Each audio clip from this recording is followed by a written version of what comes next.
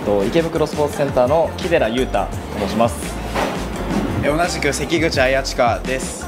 えっと、社会人として初めて大会に出たんですけれどもなかなか練習回数を重ね重ねられないということでやはり動画を撮って練習できない日は動画を何度も繰り返し見て研究したり練習できる日には短い時間で内容の濃い練習にするように工夫して練習を行っていきましたえっと2構成目に注目してほしいです。はい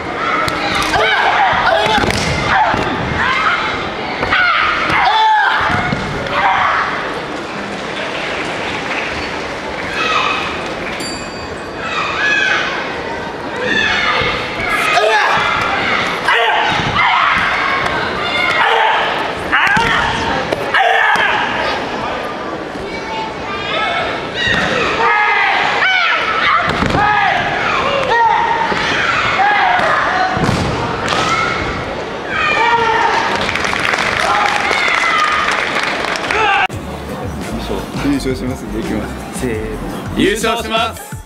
ありがとうございます。ありがとうございます。ありがとうございます